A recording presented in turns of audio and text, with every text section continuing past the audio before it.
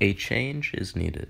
If you were to scroll through my videos right now, you will see that most of them are under a minute long, other than my tutorials and sometimes gaming videos. So I want to stop this. For now on, I will be uploading longer videos to YouTube. So now, videos have to be at least 2 minutes long in order for me to upload on YouTube. If you still want to see shorter videos, then you can check out my TikTok TikTok in the description below.